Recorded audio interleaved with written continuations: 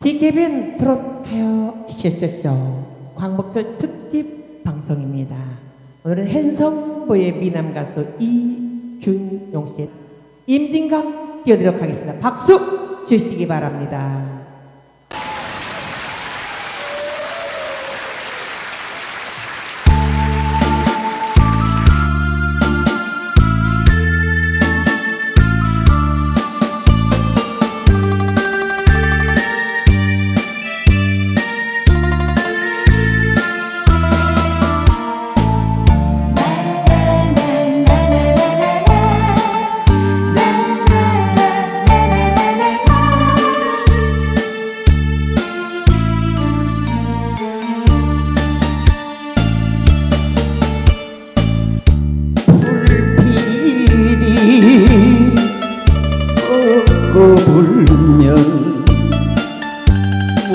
물새도 노래하던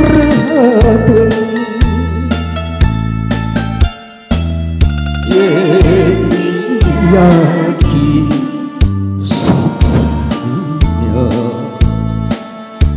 흐르는